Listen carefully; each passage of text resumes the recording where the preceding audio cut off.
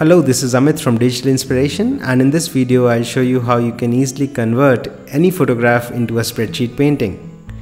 Before we jump into the actual implementation, let me show you some cool examples. Now if you look closely into any of these paintings, you will notice that they are actually made up of hundreds of cells and each cell has a different background color. Now when these cells with different background colors are seen together, they seem to resemble the actual photograph.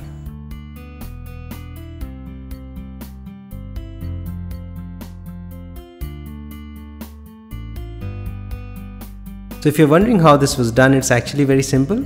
Uh, first, let's go and find a picture on the internet. Uh, you can use any picture. The only thing that you need to remember is that the image should be small. It should be really small because the program has to read every pixel of the image and convert it into a corresponding hex color. So maybe try picking an image that's about 200 pixels or 300 pixels wide. And uh, this one looks good for our project. So we'll just save it to our local disk.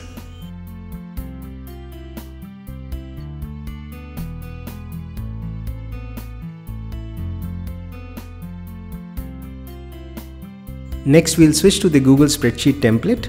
Uh, you can find a link to this spreadsheet in the show notes and here go to the spreadsheet art menu that's near help and choose upload image. Now select the image that we just downloaded from the internet and upload it to the spreadsheet.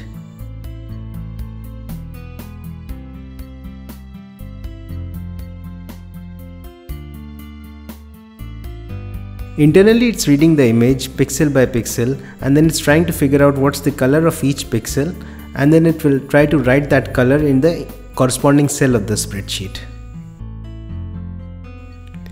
So now that the image has been successfully uploaded, you will notice that the cells are filled with some values.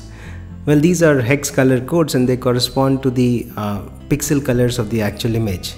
So the next thing we need to do is apply the background colors and make them equal to the cell value. So for instance, if the cell value is hash 00 for a cell, that means that color, the background color of the cell has to be black. So we can apply these background colors manually, uh, but this is obviously a tedious thing to do because there are hundreds of cells in the spreadsheet. So we can use a function for that and that is step 2 apply colors.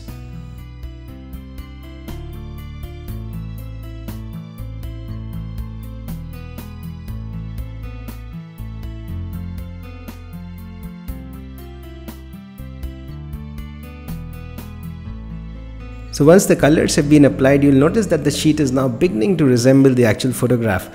Of course, it looks very pixelated, but uh, you still get some idea of what this whole uh, thing is about. Now we can get rid of the cell values since we no longer need them. So I'll just select all the cell values and press the delete key to clear them. We can also hide the grid lines of the spreadsheet and now if you look at the image, it's definitely better than the previous version but uh, comparing it to the original it's still nowhere close and do you know why? Well the answer is simple and lies in the size of the cell. Now you know that pixels are square in shape but if you look at the cells of a spreadsheet they are more or less uh, rectangular in shape right uh, the, the if you look at the row height or the column width they are not perfect squares so what we need to do now is convert our these rectangular cells into perfect squares. To make these cells perfect squares, we have a function that's fixed sizes. So you go to the spreadsheet menu and choose step 3. Now here enter the size of the cell. Uh, so for instance, let's choose 5 pixels for this example and what it will do is it will convert every single cell into a square of 5 pixels by 5 pixels.